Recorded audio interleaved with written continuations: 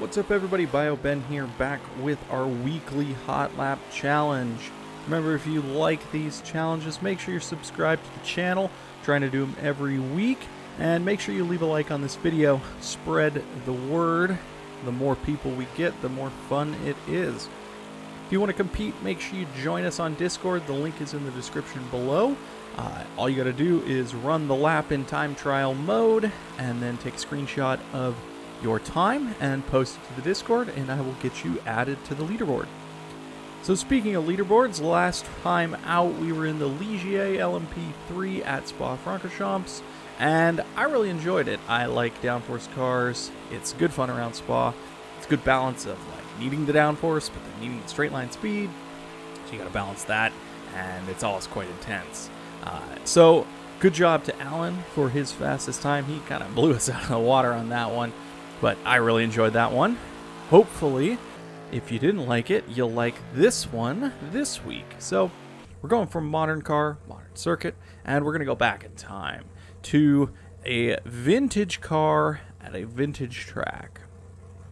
So, I've been thinking a lot about this circuit lately, just how unique it is. So, I wanted to go and hit the high banking of Monza. So, we're going to run the Monza combined oval and GP track, and we're going to use the classic Lotus 40 prototype with that beefy Ford engine. It sounds incredible, so this should be a fun one.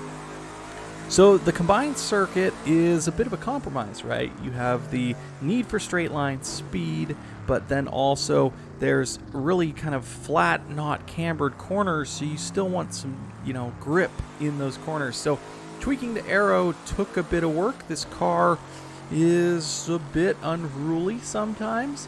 Um, it didn't want to turn. It was pretty stable in a straight line, so the banking was generally fine, but uh, getting it around the corners, I had to rewire my brain. So if you're used to modern day Monza and you've run that a lot, the corners are slightly banked. Um, in the old days, they were much more flat, so I had to rewire my brain for a few laps, be very cautious, be very cautious on the braking, of course, especially into the chicane, um, the uh, oval section. So, uh, you know, take a few laps, go slow, make sure you learn the track, and then you can really start to push it. And it got really intense my hot lap, it was like really white knuckles. So, I really enjoyed this one. There weren't very many times on the leaderboard, so I was able to post the fastest time so far. Again, there's like under 10, so I'm sure it will be quite easily beaten. But go ahead and give it a go. Show me how much faster it can be done. And yeah, here's my lap. I hope you enjoy it. I had fun with this one. And of course, the setup is afterwards. Um, I didn't do a ton to the car, but I focused on aero. All right, I hope you'll join us for this one. Remember, join us on Discord, and I hope you have fun. For now.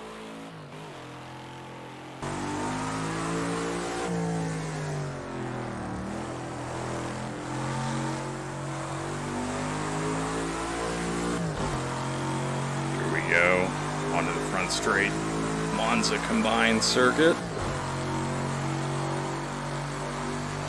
Gotta be careful of the chicane here at the end. Early braking required.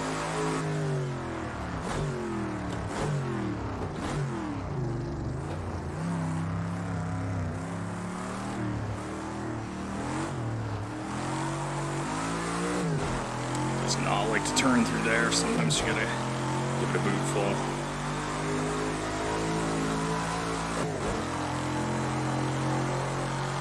Tank slapper there.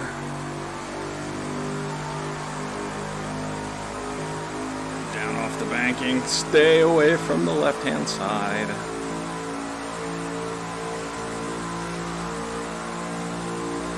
Running pretty low down force here. 294. Through the banking. 280 kph. Back down off onto the front straight. Should be up in the 290s here soon. 291, 292. Watch the braking.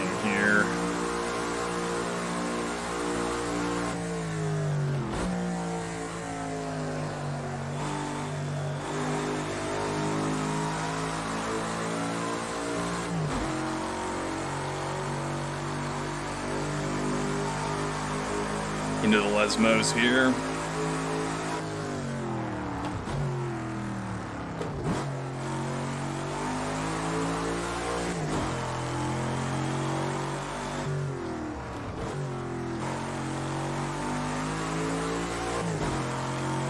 Bit cautious there.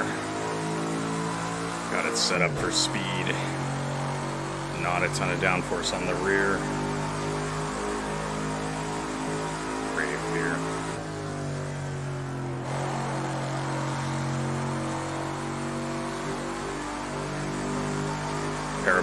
Left.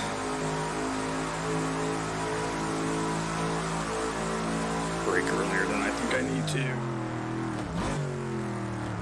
And more.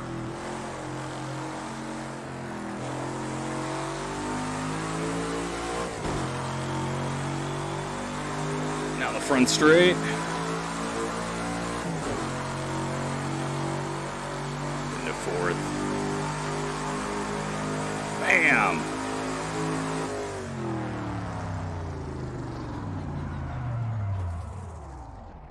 Whew.